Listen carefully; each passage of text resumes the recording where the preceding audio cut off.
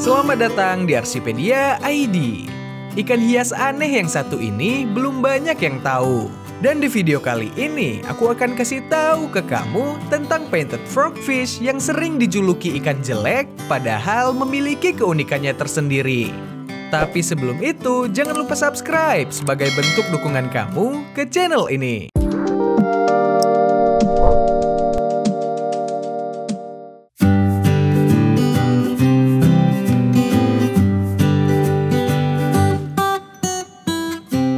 Menyelam ke dalam lautan, tentu kita akan menemukan berbagai ikan yang sering berlalu lalang di sekitar terumbu karang. Tak terkecuali dengan ikan yang satu ini yang menjadikan terumbu karang sebagai teman.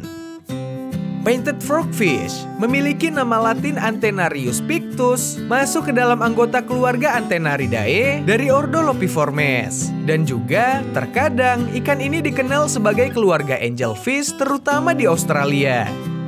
Frogfish dikenal memiliki bentuk berukuran kecil dengan tubuh pendek kekar yang ditutupi spinula dan warna beragam sebagai bentuk kamuflase.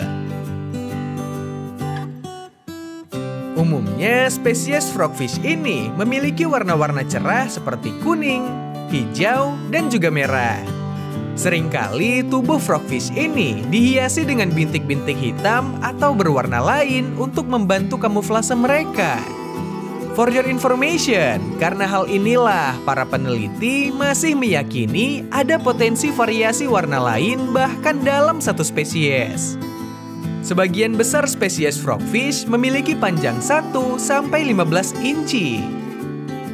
Banyak dari spesies mereka memiliki kepribadian damai secara alami meskipun tak jarang dapat menjadi semi agresif. Kebanyakan frogfish berasal dari perairan dangkal dan banyak yang telah berevolusi untuk berbaur dengan warna cerah terumbu karang. Painted frogfish dapat ditemukan di seluruh belahan dunia, di samudra, laut subtropis, dan laut tropis. Tapi mereka tidak ditemukan di laut Mediterania. Mereka paling sering muncul di Samudra Atlantik, Pasifik, dan Hindia, serta Laut Merah. Salah satu hal yang paling menarik dari frogfish adalah cara mereka bergerak yang lain dari ikan pada umumnya.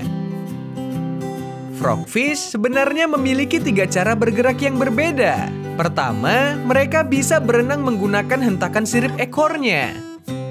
Teknik menghentakkan sirip ekor ini disebut dengan gaya renang subkarangiform Kedua, mereka dapat menggunakan otot yang membesar di rongga mulut dan insangnya yang besar untuk memompa air dengan cepat keluar melalui lubang insang untuk memungkinkan mereka berenang layaknya tenaga jet.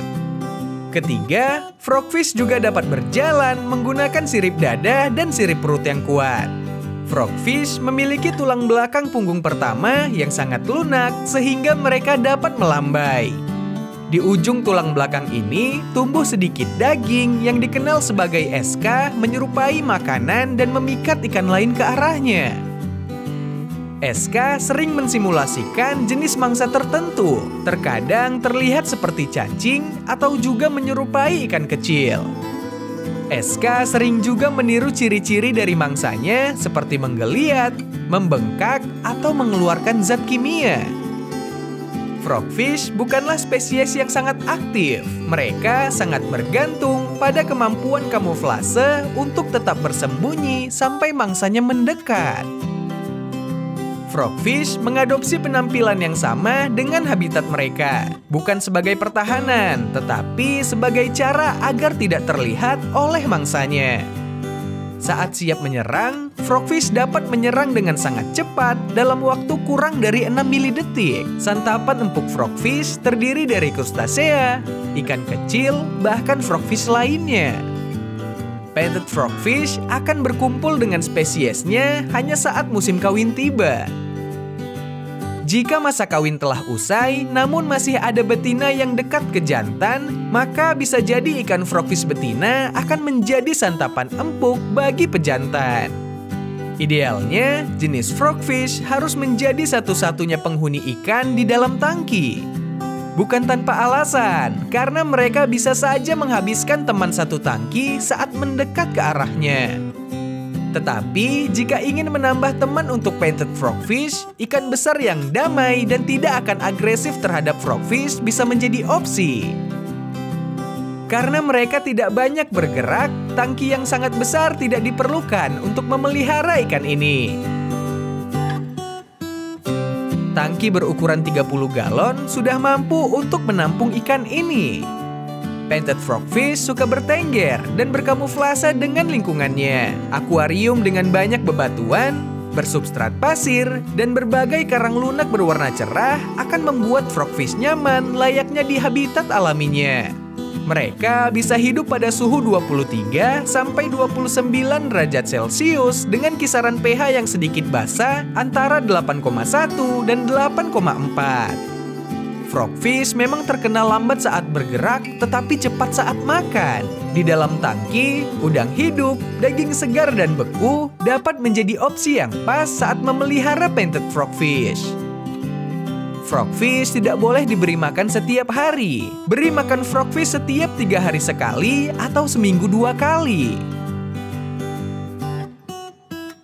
Karena selera yang besar terhadap makanan yang mengandung daging, filtrasi dan sirkulasi sangat penting untuk memelihara ikan ini. Painted frogfish tidak terlalu peduli dengan cahaya yang masuk di akuarium. Mereka akan masuk ke goa jika dirasa lebih nyaman di sana.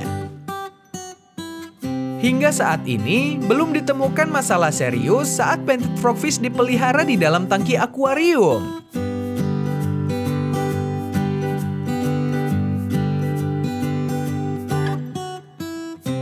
Pergantian air 25% setiap dua minggu dan aliran air yang cukup membuat air teroksigenasi dengan baik, sehingga ikan ini akan terus hidup dan sehat di dalam tangki.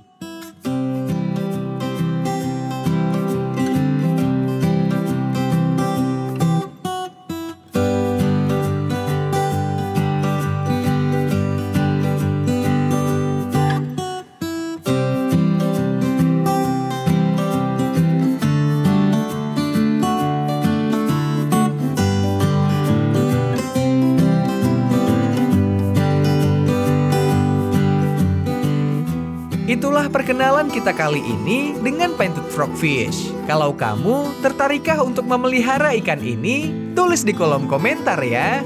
Terima kasih sudah menonton video ini. Semoga bermanfaat. Jangan lupa subscribe dan like jika kamu suka. Dan kalau kamu ingin melihat video ikan hias lainnya, silakan klik video ini. See you on the next video. Bye.